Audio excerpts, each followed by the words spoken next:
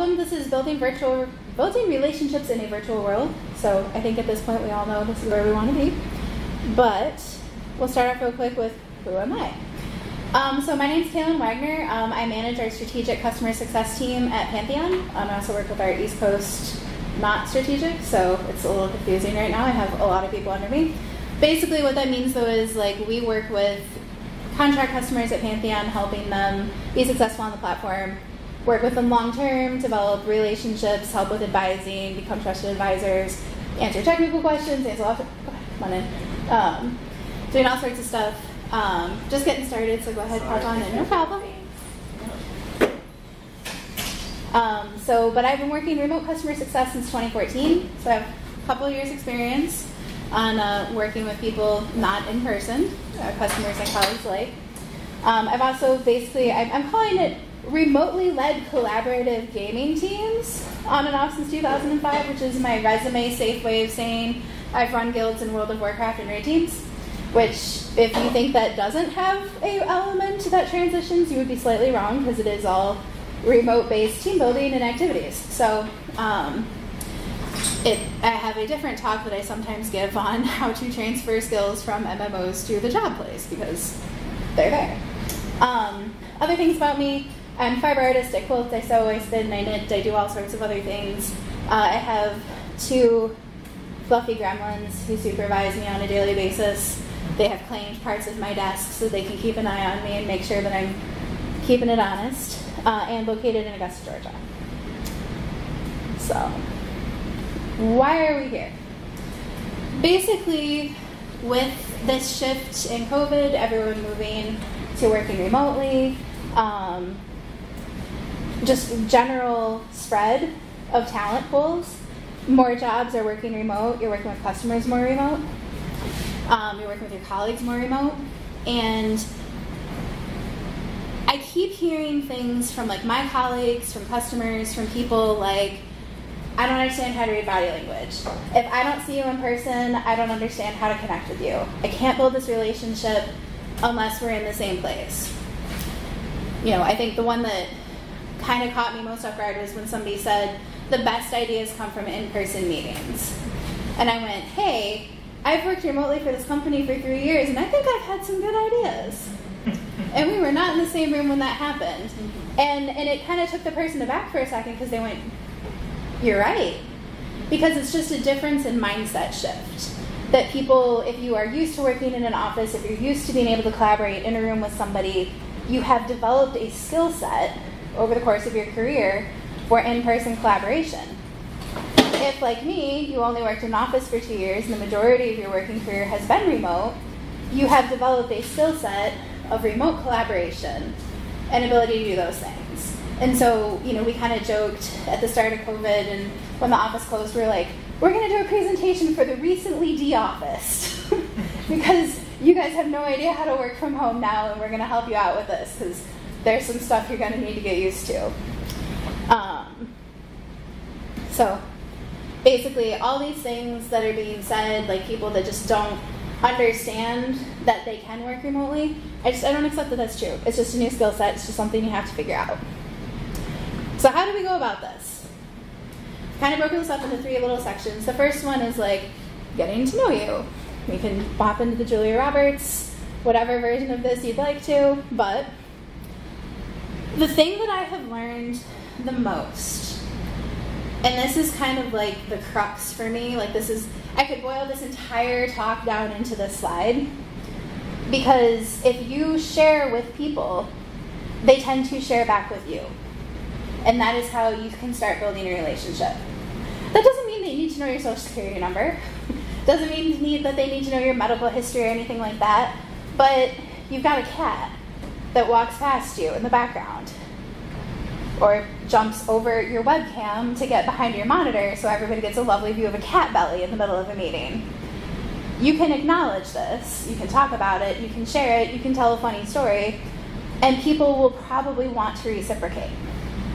And that is the very basic building block of starting that relationship. Um, the thing about this, though, is you know, not everybody wants to build a relationship with their coworkers. Like, I personally have a hard time understanding that because I'm a very friendly person. Some people are just like, I'm here to work. I don't want to get to know you. I don't care. Don't care about your family. Don't care about your other stuff. How can I help you at work? Let me go there. That's fine. I may personally make it a goal to slowly crack that nut over the course of years. I, you know, count it a victory when I can pull out some piece of information that nobody else knows. Um, but it's okay. If somebody really doesn't want to, that's cool. But that said, if you can share stories, if you can share experiences, if you can do those things, people will warm up to you. It's like, you know, when you look at somebody and you smile, they almost can't help but smile back. It's the same thing, just through a computer screen. So, so often as people are getting used to working from home, and even now, two years into this, you know, like I was doing an interview last week with somebody, and their doorbell rang, their dog started barking. They were mortified because they were like, oh my God, this is so unprofessional. My dog is barking. You can't hear me. This is horrible. I'm so sorry. I was going to lock him outside so this wouldn't happen. And I was like, tell me about your dog. Like, what kind is it? Is it like, is this normal? Does he like protect the house or are we just having a good day? And like, because that was a connection. Like, cool, you have a dog. Tell me about your dog. How long have you had him? How old is he? What color? What's his name? Like, let's go there. And you could see the person relaxing because suddenly this thing that they thought was going to be the end all for this interview of improfessionality became like a five minute talking point where we just got to connect and have fun. So I try to encourage people to like the stories, the laughter, the wayward animals and children. you know, I had a call with a former C level person at my company, and her husband happened to come out of the shower in a robe, not realizing she was on a call. Passed through the background real quick. She saw it, I saw it, we both had that moment, and we just started laughing. She was like, I am so sorry. I was like, it happens. But it was a moment that built a block for us, where we had this shared asinine experience of absurdity that just, you know, I like when we'd see her, you know, every once in a while she'd just be like, oh my God. And I'm like, I know. Because it just kept coming up. And that was a small in on that relationship. And as part of that, what I try to remind people is just because you're working from home and you're not in an office anymore, it doesn't mean you have to work 100% of the time.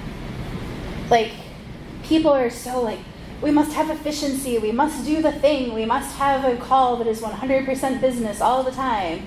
You know, you walk into a call and if people are chatting at the start, someone's getting annoyed because you're not taking part in the meeting. But if you think about it, when you were in an office, you would go get water or a drink, and you would talk to somebody in the kitchen for five minutes. You would run into somebody in the hallway and you would catch up with them your coworker would turn around in the cube and tap you on the shoulder and be like, hey, can you help me with this? Or like, I just want a break for a minute, let's chat. That happened. And it was fine.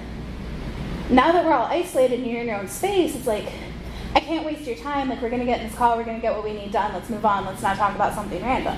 You feel bad taking that time because there's like a perception of like, if I'm working remotely and nobody can see that I'm working, how do I show everyone that I'm working?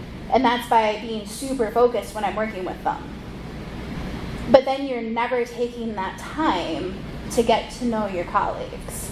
You're never getting the time to get to know your customer because you are just business all the time. That doesn't work. Now, you do have to be careful. You know, you don't want to spend the entire hour meeting discussing not what you came here for, because that is a waste of time. But it's okay to have five to ten minutes at the front of a call where you're like talking about something random. You know, two people joined the call early, they started a small chit chat. More people start joining the call, they join in. Let it go for five or ten minutes, see where it happens, and then be like, all right, cool, this was great, let's get on with the meeting. People are usually good with that. There have also, though, I will completely admit, been times I work with people across the globe, and they find out that I live a mile from a llama farm, and they're like, You mean you have trees? I live in Barcelona. What is a tree? Everything is building. And we actually did legitimately pull up Google Maps. Everyone took turns screen sharing because we had somebody from New York City near Central Park, me near Llama Farm, people in Barcelona, people outside of Barcelona, some folks in Italy. And people were like pulling up their home address and showing us their neighborhoods. Like, this is my work commute. This is what I see. Like, I'm five minutes from the beach. I'm five minutes from a llama farm. And like, we did not accomplish a single thing we set out to do in that meeting. But what we did do is we built a, fa- a fantastic relationship and a friendship there. Because the next time I saw him, I was like, hey, when's the last time you went to the beach? Like, they letting you go to the beach yet? Like, are you allowed to go out of the house? And they're like, ah, no. How are the llamas? You, you gotten any babies yet? Like, you just have this sideways tangential connection that isn't work related that makes them friendlier towards you, you friendlier towards them. There's empathy. And, you know, when we get on the next call and they need to yell at me because something went wrong with a site deployment, they like me a little bit more because they know I live near a llama farm or, you know, whatever this thing is. Um, and you can also see like the other suggestions on here. Like these are small things you can do. Um, there will be a couple pictures later. You'll be able to see what's in my backdrop. It's like ask about interesting items in the backdrop. This is a deliberate ploy on my part. I have an interesting office backdrop to start conversations with people because it helps. Um, the big thing too, though, is like remember the stuff that you talk about with folks and follow up on it. You know, bring it back. Show them that you weren't just paying lip service to listening or asking. Build on that. You know, if, you know, like I had a customer, she'd just gotten a new puppy. I met with her six months later. I'm like, how's the puppy? Are we still a puppy? How are we doing? Are things getting better?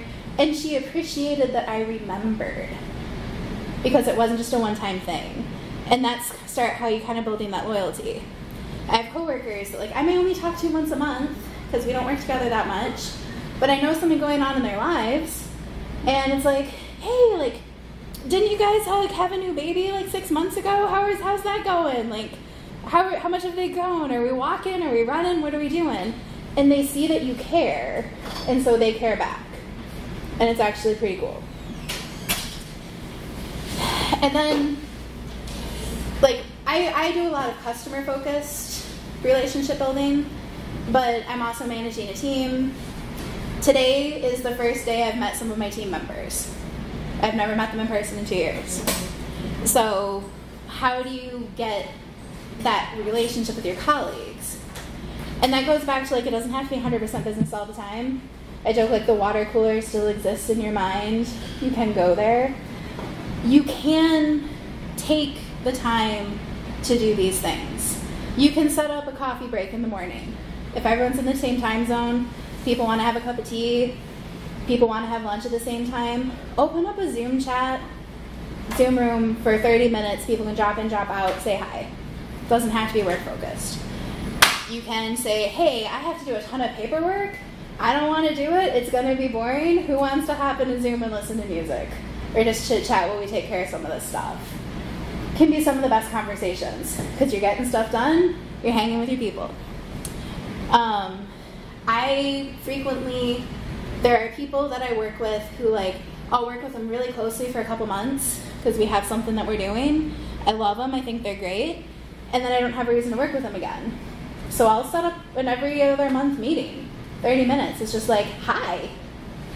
So that I can like take 30 minutes and say hi and talk to them. And people love that. But they're afraid to do it because I'm going to put a 30 minute meeting on someone's calendar just to say hi. Never have had a bad negative response to it. You know, if there's people that you care about, people you want to build relationships with, that you work with, you make the time to do it, they will make the time to do it with you, and you will have a stronger team overall. Especially cross functional different departments if you're not working together regularly. Um, some of the other things I put in here, it's basically like you can boil this down to be a good human being. If you have friends that like you know your friend's sick and you would check on your friend a week later and say, "Hey, feeling better?" Do that with your colleagues. Be considerate, be human, be kind. And people will be human, considerate, and kind back. It's really weird, but it does work that way. And I've said this so many times, but it's so important to say this, and you'll hear me say it again before we're done. It is okay to take the time to do this. Most of the time, we're not curing cancer, we're not sending rockets to space. Some of your companies might be that you work with, in which case, you know, choose your time things carefully. But it's okay if you get something done 10 minutes later because you took 10 minutes to check in on someone and be a human and build that relationship. Come on in. And this is just kind of something that, like, if you read through this and you think about it, you look at this presentation later, I spelled this out. I try not to read my slides, but this one I will. Relationships build trust. If you stop and you think about the colleagues that you have the most trust with, the relationships that you work, the customers that you work best with, and you try to think about how that all overlaps with what kind of relationship you have with those people or that customer, and how much you have brought of yourself, your authentic self, to that relationship, there's going to be a strong overlap in almost every case. It's just true. And it's like, oh, that makes sense. This feels obvious. Except it isn't. Because we're so trained that when you're at work, you're working. You're not you're not being a, a person, you're being a worker. But if you bring that humanity back to work, you can go so much further. All right. So we're going to change gears a little bit, going into body language, because that is something that I hear a lot. People are like, I can't read body language through Zoom. And I'm like, yes, you can. You just don't know it. So we have game time. Uh, this is where I was saying there's going to be screenshots. You can kind of see my background of my, my office a little bit here. But uh, this is, my coworkers didn't understand what I was doing when I was sitting on a really long call making funny faces and taking screenshots to put the slide together. So somewhere there's a Zoom recording of a very serious discussion taking place and me being like, doing all these weird things so I could get this. It's actually pretty funny. But basically, if you take a minute and you're looking at these, like, what do you think is happening in some of these pictures? Like, if you have an idea, it's like, what, what's going on in one? What's going on in two? What's happening in seven? Like, anybody got any thoughts? Shout it out. Don't be afraid. Seven. Look a little bit bored in number one. yeah. yes. Bored and seven. Somebody's walked in the room. exactly. The cat fell off your desk. Cat fell Yeah. off the desk. Um, three. There's a light from a phone there. Maybe. Arranged by the D and D character neutrality? It is not, but I should. I should do that. Basically, though, like when you're looking at this, you're looking at these, you're going, yeah, I recognize those faces. That's distracted. That's something else is going on. Like trying to pay attention, trying to do. I may need to fix one because you called out a different emotion there, so I need to make that one better. But like, you can tell what people are doing when you're in a Zoom call with them if they're on camera. You do know. You have learned a lot about what people are doing. You know how to read the body language. You just don't think you have. And like I think everyone's so used to like we were taught in school like this is what active listening looks like. When you're in person, you know how to recognize that. When you're on a Zoom call, you only get half of the active listening. so people are like, "Oh, I, I can't read it," but but you can. Um, the other thing about it is this is a new skill for a lot of people, or newer skill. Like it feels like after two years, it's like, well, it shouldn't be a new skill anymore. But let's be real. For the first six months, we thought it wasn't going to be a long term thing. After a year, we thought it wasn't going to be a long term thing. At two years, we're still hoping it's not going to be a long term thing. And two years compared to the rest of your life of learning how to interact with people in person isn't a lot of time. So these are new skills you are developing. It's okay to not be fully confident in it, but trust yourself a little bit more because you know more than you think you do. The other thing that you can do, knowing that everyone else is also in the same boat of not necessarily knowing what's going on, help them out. turn your camera on. If all I'm doing is looking at a picture of you, I have no idea if you're engaged.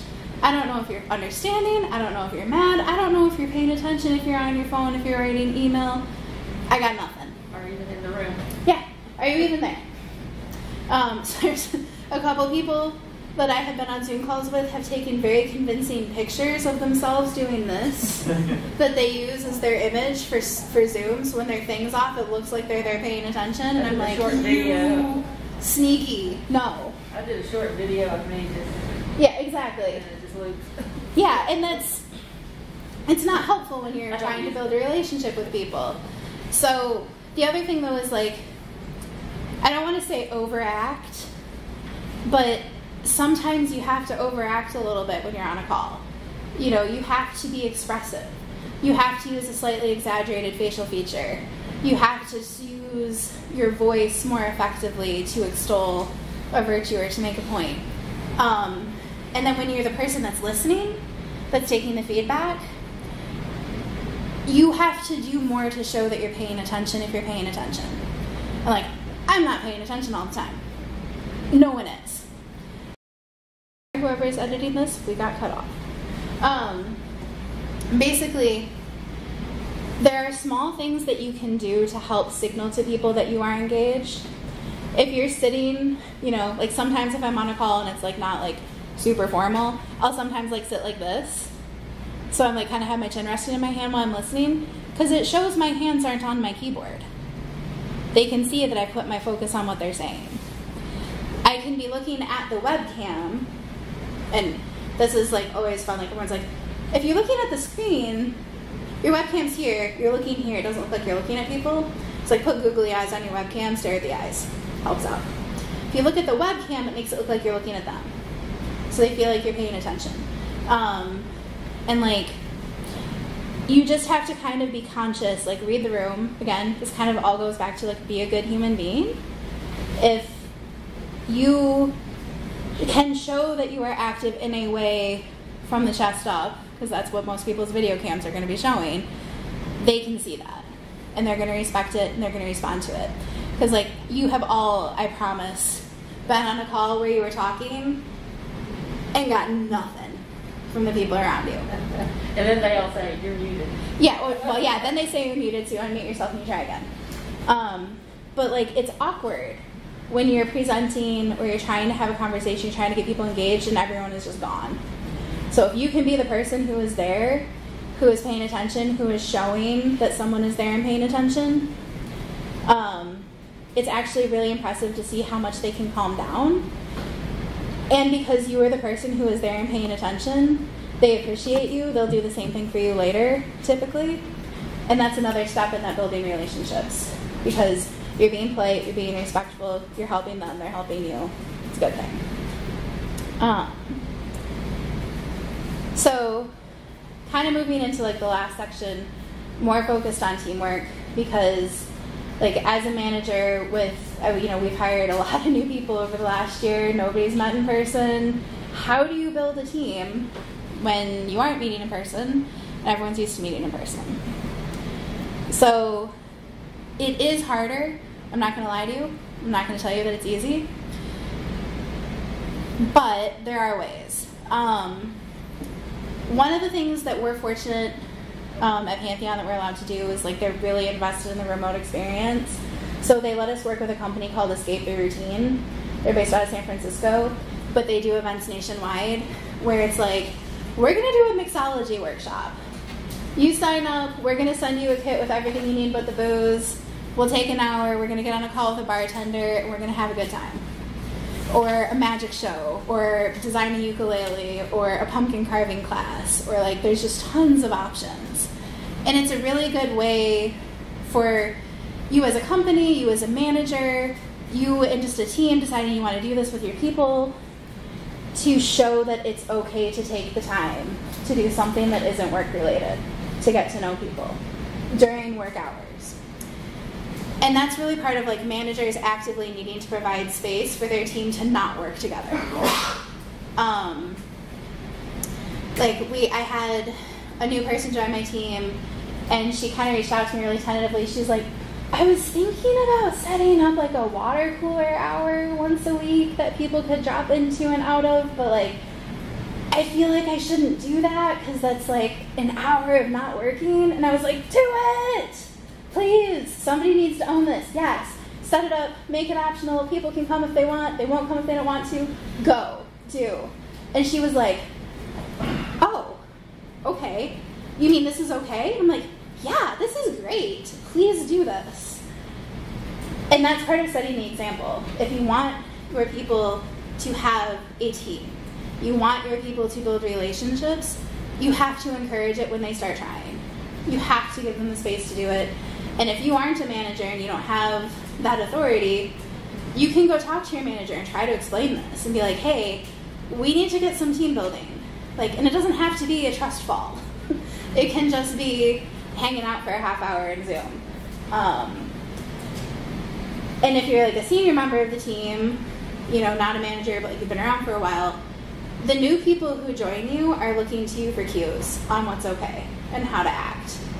So if you want to have a collaborative environment with people that have relationships, that tell stories, that talk about their cats, that talk about their dogs, that share pictures of their father-in-law's fire pit because he spent two months pulling giant boulders out of a hole in his backyard and it's insane. You have to share the picture of this insane fire pit that your father-in-law built and tell them the story.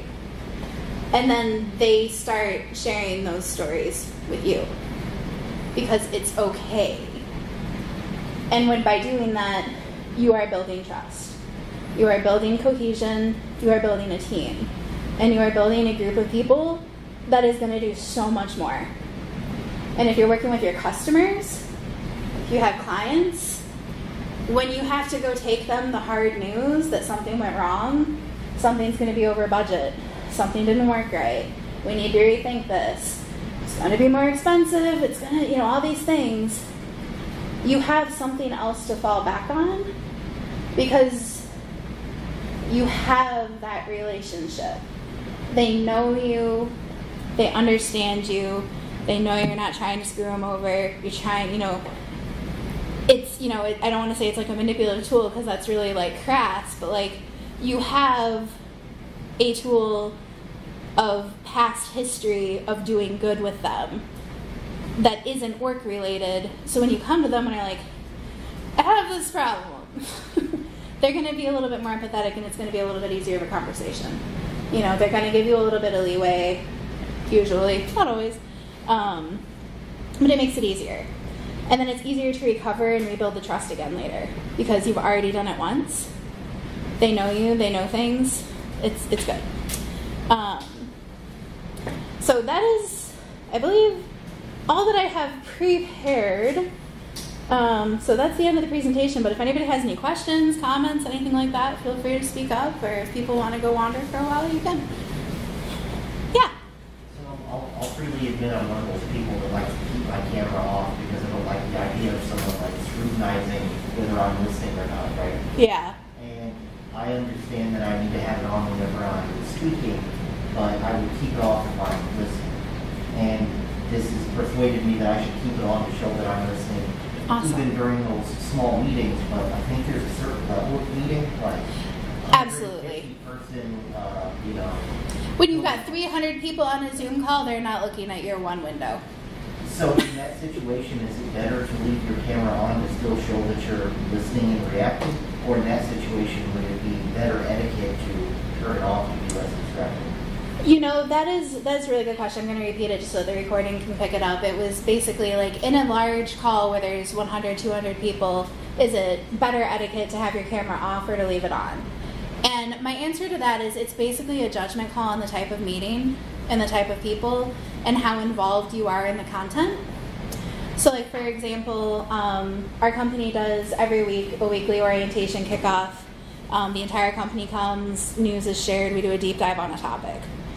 If the, the deep dive topic is being presented by somebody in my department, my team, like my people, I will 100% have my camera on to be supportive of them. Because Zoom also filters people with cameras on to the top so they can see a friendly face and they know that someone is paying attention. If it's random Joe Schmo. I know nothing about this. It's not my problem. I'm like interested, but I'm also checking email. Yeah, I'll probably keep my camera off. Um, and if if like like with weekly kickoff when we get new hires, we introduce them during that as well. I'm going to be speaking, so I leave my camera on the whole time because that way I'm not going in and out. But like yeah, it's kind of it's it's difficult to say here's a hard and fast rule on that because if it's an all hands company presentation and they're not expecting they're not expecting people to interact with them, it's fine to leave your camera off. Um, if if you want to show support for the topic for the person on a personal level, it's a good thing to leave the camera on so that you can be that smiling face. But yeah, no hard and fast rule. Thank you. Welcome. Yeah. Um, First, I apologize for coming in late. No problem. It was either, we used both Team and Zoom. Yeah. One of those, I think it may be Zoom, that had a together mode. I don't know if anybody's seen that. I haven't. But if you have a large, and I don't know what the parameters, it just showed up one day, I pulled the menu down, it said together mode, and we had about fifteen people, and I clicked it, and it changed it for the entire oh, session, and you're, it shows you, everybody like sitting in an auditorium, and each Oh. little person, so on the screen, you can see each little person sitting at a desk with their, it Interesting. was, it was way cool. I'll have every- to look for The that. meeting went downhill, because everybody started. Well, yeah, because everyone's then going, let's play with a new toy. But that's interesting. Together mode. I'll have to see if Yeah. that's Teams or Zoom. Show a handful of I can't figure out where, like, Yeah. sometimes it's on, sometimes it's Yeah, off. so I don't know if it has to be a certain number of people for it to show up, or I'll have to the look into that because Yeah. that, that sounds We entertaining. had the same exact experience. Yeah. This is so cool. Now we're not, we forgot what we were reading about. We will get no more work accomplished. And that is perfect because it is a shared experience of absurdity that everybody can harken back to. That's, I, I, I like, there was a, I can't remember who did it. Somebody did a TED Talk years ago on like the experience of shared absurdity, the creating experiences of shared absurdity. Great TED Talk, worth watching. Um, but like, I love that because like the weird things that happen are what you remember and what make you giggle later. If you can see the absurdity in it and have fun with it. you remember, uh, well, I'm sure you, last year's Drupal camp was on GatherTown. Yeah. Well, I, at that time, I set up, a, it was a free account, you know, with limited number of users, but we we're trying to think of team building for our team, and I was going to suggest, let's build, since we're no longer in our office suite, let's build our office suite, because we used to do ping pong in the conference room, and movies, and Nintendo, let's build a virtual suite of offices, everybody can join, and you can run around, talk to each other, play a game, Yeah. That's a great idea. I mean, if you have a team that would use something like that and get involved in it, that's great. or uh, my my one coworker and I on Thursday after work uh, we have a happy hour. Yeah. So just we both drink wine and talk about Yep. Gothenburg. I yep, I have I have done that with some of my colleagues, having a happy hour. I actually have a customer who if fortunately she's not my customer anymore, so it's more okay now, but like we became good friends and we would get together once every couple months and have a non-work related Yeah, not work you know yeah happy hour and just chat and catch up. She's the one that had the puppy um, but she's great you know it's, it's it's fun to be able to do those things. Any other questions from anybody feel i mean feel free. If not that's fine. Okay. Awesome. Well i'm going to stop the big red button but uh, basically I don't